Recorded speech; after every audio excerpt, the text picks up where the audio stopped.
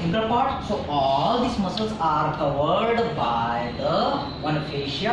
What is the name? Prevertebral fascia. It will also participate in the formation of the flow. Got it? So this is all about the flow. Now we are going to see this diagram from the Gray's Anatomy student section. Can you see? Yes, this is the first strip. Very most important. This is the first strip. On the inner border of the first strip, the one muscle is getting insertion. What is the name? Scalenus anterior. Very most important. Do you remember your first year in MBBS? First strip. Only one question has been asked to you. On the inner border, the muscle is getting insertion. That is the scalenus anterior. Now see, in front of the scalenus anterior there is the vein. Behind the scalenus anterior there is the artery along with this nerve. So what is your trick? Always in our body, the structures which are present, they are the V-A-N. Vein, artery and the nerve.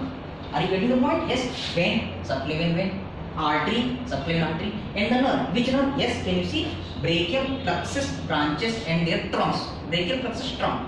Got it? So yes, this is the trick. So what is the importance of this structure? See here, cardiothoracic surgery. Now we are going to correlate with the cardiothoracic surgery. Suppose we have to approach for the heart. We have to approach for the heart.